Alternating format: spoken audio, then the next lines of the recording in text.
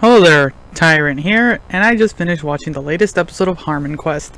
And so our guest host, Elizabeth Olsen, uh, she she brought some very mild comedic jokes.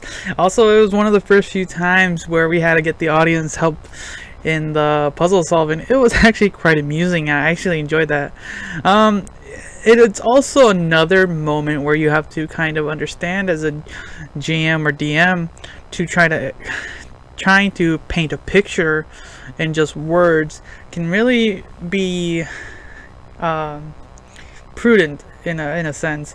So just watching this episode was really actually quite amusing. Um, uh, we got some musical numbers were added, which was quite hilarious. Um, and for the most part, I actually enjoyed it. I I'm looking forward to seeing more and how this finishes up and concludes. But it was a fun episode. Uh, that's kind of it, really, uh, of my initial thoughts. So, hmm, anything really? Mm, there were some fun moments. No fighting. I wish there was a little bit of fighting, but it was more uh, back-to-back -back talk, which was interesting. So, yep. Thank you for watching.